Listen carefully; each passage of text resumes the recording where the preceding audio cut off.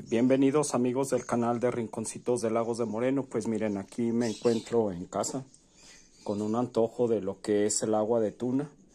Y pues como tenía tunas, pues les voy a mostrar cómo fue que la hice. Eh, ya pelé las tunas, las puse aquí en este sartén. Las estuve machucando así de esta forma, como si fueran los frijoles. Les quito todo lo que es la pulpa para que quede la pura semilla. Eh, así me gusta hacerlo a mí para no moler la, la semilla y le vaya a dar otro sabor a lo que es el agua. A la hora que ya tienes colada lo que es la, la tuna te queda de esta forma. Le voy a poner dos limones o tres y el azúcar a qué hora se le agrega. El azúcar se le agrega cuando vas a empezar a moler lo que es la, la tuna que empiezas a hacer este movimiento y le pones el azúcar para que igual que la sal cuando haces un chile de morcajete pues le dé como un tipo arenoso para que le quite y se integre el sabor a la hora que está soltando la pulpa a la tuna. Pues así es como hice el agua de tuna y así le estoy haciendo ahorita. Ya es la tercera vez que hago puesto que vinieron a ofrecerme una canasta de tunas y la compré, pues ya son las últimas y estoy aprovechando que estoy haciendo el agua para hacerte este video, igual para mandarte un fuerte abrazo y saludo a toda la gente de aquí de Lagos, la que radica también fuera de aquí de Lagos y a toda la gente de Guadalajara, mis parientes y parientes de mi tía Nicolasa. Bueno, miren, pues ahora también lo que les estoy presumiendo que me puse a hacer tipo gorditas pero de maseca, son rellenas eh, así me quedaron, están bien sabrosas, miren. Están rellenas de comida, tienen queso, papa y como discada de carne. Entonces quedaron bien sabrosas y esa es la forma que les di. Pues uno que anda de antojo y pues que también te comes lo que se te antoja, que sea diferente. Eh, ¿Por qué no se ven tan grasosas las gorditas o los las empanadas porque las cociné con, con eh, manteca vegetal. La manteca vegetal te las dora muy bonito, no te las quema y aparte no te las deja grasosas, te las deja muy, muy ricas. Aunque es un poco más cara, pero vale la pena.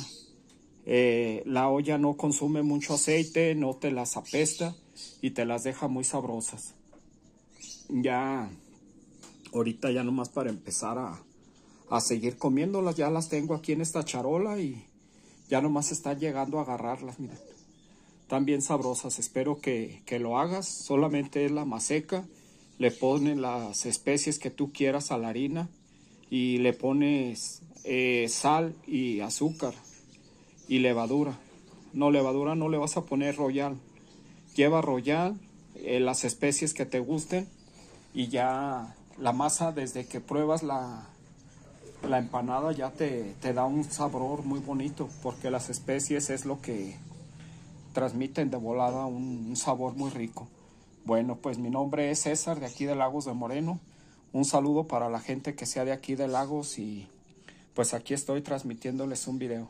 Espero que te hagas el agua de tuna, que compres un, un platito de tunas y te la prepares, te digo. En un sartén como este vas a echar las tunas, las ya peladas como las compraste. Le pones el azúcar de una vez y las empiezas a moler como si fuera el molcajete de esta forma. Esa va a ser el azúcar que vas a ocupar. Posteriormente ya las empiezas a, a lo que es colarlas. Mira, vas a colarle la pulpa y ya vas a estar agregando agua cada vez. Las regresas ahí y le pones otra vez agua, ya sea de la misma que tienes aquí en la jarra o ya le pones agua la que te falte para completar la jarra y recuerda ponerle de dos a tres limones. Bueno, eh, gracias, un saludo especial, un abrazo para ti, para toda la gente que conoce el canal y espero que se te antoje estos alimentos eh, naturales. Miren y diferentes también, al estilo de aquí de Rinconcitos de Lagos de Moreno, pero muy sabrosos. Me da mucho gusto cuando mi gente me dice que, que me quedaron muy buenos y están sabrosos. Miren, son como gorditas en aceite, pero les digo, traten de usar la más seca, perdón, la grasa vegetal y te las dora y te las deja sin grasa. Te los deja muy bonitos. Miren, no hay nada de aceite, está todo y las agarras ya para comértelas y no te queda grasosa las manos.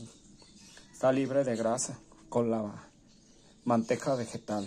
Bueno, pues que estés bien y espero que te hayan gustado mis videos.